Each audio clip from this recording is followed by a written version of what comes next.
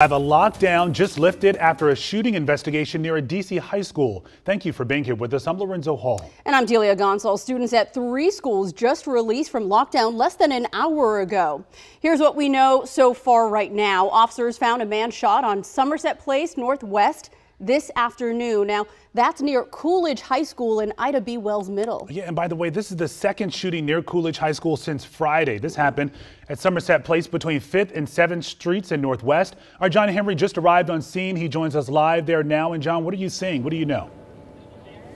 Right now, the scene is clearing up, but it was certainly chaotic here about 20 to 30 minutes ago. This all happened around 3.30 according to MPD. They were called here for a report of a man suffering from gunshot wounds. And you can see just all the schools that are around here. There's Coolidge, there's Ida B. Wells Middle School, and also across the street here, Whittier Elementary School. This is a very busy place with a lot of parents who are picking up children and also Safe Passage volunteers in the area.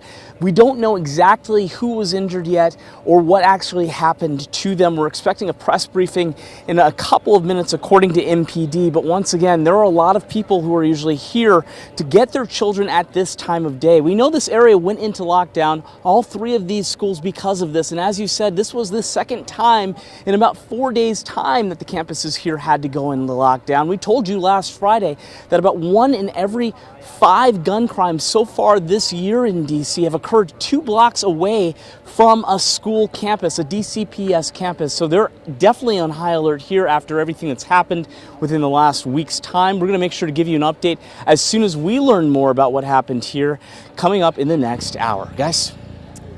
John, thank you. Glad I'm glad to hear that all those students are safe, locked down in their school, but such a congested area, you can only imagine what those parents were thinking. Thank you, John.